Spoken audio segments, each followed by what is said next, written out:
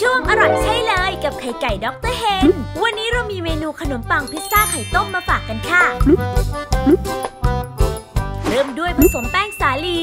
ยีสต์แห้ง นมผง เกลือป่นและน้ำตาลทราย เคล้าผสมให้เข้ากันค่ะ จากนั้นเติมไข่ไก่สูตร free range โอเมก้า 3 ตราด็อกเตอร์เฮน กับเนยสด และน้ำเย็น นวดผสมให้เข้ากันค่ะ ตัดก้อนแป้ง 60 กรัม คลึงให้เป็นก้อนกลม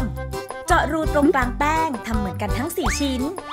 พับแป้งจนขึ้นเป็น 2 เท่าค่ะ ทาซอสมะเขือเทศลงบนแป้งที่เตรียมไว้ แต่งหน้าด้วยเบคอน พริกฝรั่ง 3 สี